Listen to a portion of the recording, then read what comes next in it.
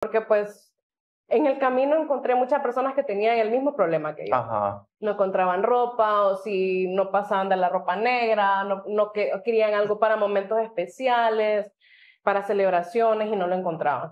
Entonces, eh, de ahí surgió también una relación mucho más fuerte con la comunidad queer en San Pedro, eh, porque sí tenemos eso en común, que venimos de backgrounds donde no hemos encajado, donde eh, éramos muy grandes o éramos muy pequeños para los ambientes en los que estábamos.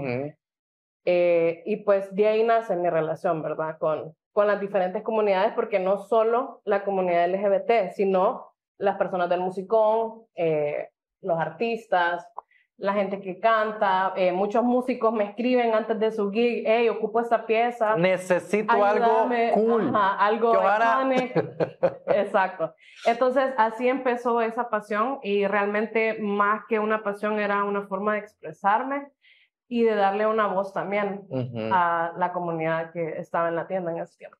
Me encantó. Tuviste tres años de penqueadas, porque Sí. me consta. Sí. Eh, creció tanto el proyecto que ya después no te dabas abasto. No. Me contaron una vez ustedes que estuvieron, eh, no sé si ha- ha- había cierta fecha que habían estado todo el día, o sea, habían tenido como 24 horas que no dormían porque estuvieron tomando pedidos, mandando órdenes, tomando pedidos, mandando órdenes. Sí. En realidad solo teníamos como una o dos noches libres a la semana. Dios mío. Noches, no digamos días. Ajá. Y pues sí se convirtió en un, en un momento muy caótico Ujú. eh, y tuvimos que frenarlo. No te, no te podría decir que la tienda no va a volver.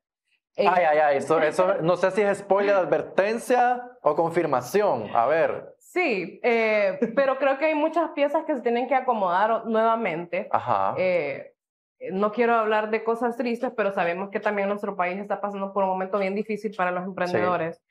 Y pues es una cadena, ¿verdad? Tanto la red de distribución de paquetes, eh, la mano de obra, todo ha subido. Y pues ya para construir eh, empresas sostenibles, sustentables, ya es algo mucho más complicado.